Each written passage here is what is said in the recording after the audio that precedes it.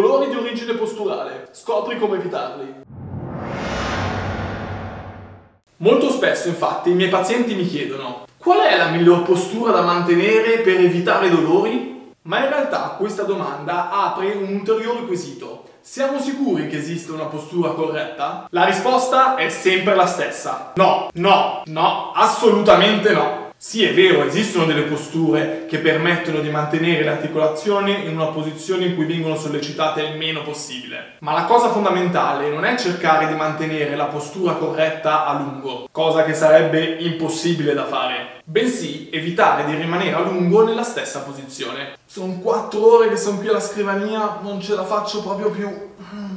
Questo perché rimanendo sempre nella stessa posizione si crea una pressione sempre sugli stessi punti questa pressione non permette una libera circolazione del sangue e come sappiamo il sangue porta ossigeno e l'ossigeno è vita. Immagina di creare con il dito una pressione sulla tua pelle. Dapprima si crea pallore, ma se la pressione viene mantenuta a lungo, anche se a un carico basso, poi si creerà dolore e infine lesione. Un esempio ben più grave sono le piaghe da decubito. E che cos'è che ci permette di aumentare il flusso sanguigno e quindi l'ossigenazione dei tessuti? Il movimento. Quindi, ricapitolando, abbiamo visto che il movimento aumenta il flusso sanguigno, il sangue porta ossigeno e che l'ossigeno è vita. Possiamo allora concludere che il movimento è vita. Non cercare allora di mantenere una postura corretta a lungo, cerca di fare delle pause dove inserisci dei piccoli esercizi che ti mostro adesso. Gli esercizi e movimenti che vi mostro in questo video non sono dei veri e propri allenamenti, ma sono ottimi per prendersi delle piccole pause a casa o durante il lavoro per poter riossigenare i tessuti e dare respiro alle articolazioni.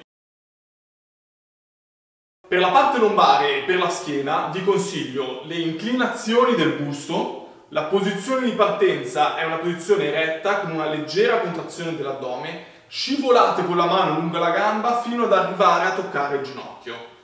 Vi consiglio 10 ripetizioni da un lato e 10 ripetizioni dal lato opposto. Eseguiamo poi delle rotazioni del busto, la posizione di partenza è sempre una posizione retta con una leggera contrazione dell'addome. Le mani e le braccia all'altezza delle spalle, eseguiamo delle rotazioni sia in un senso che nel senso opposto. Anche in questo caso vi consiglio almeno una decina di movimenti. Con la testa seguiamo il movimento. Infine per la parte lombare eseguiamo delle estensioni lombari.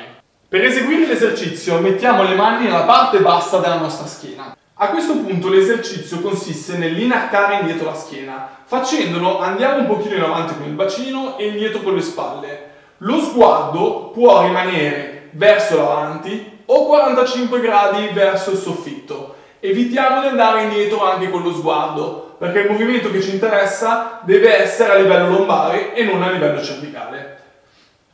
Eseguite il movimento per 10 o 12 ripetizioni, cercando ogni volta di andare sempre più indietro con le spalle.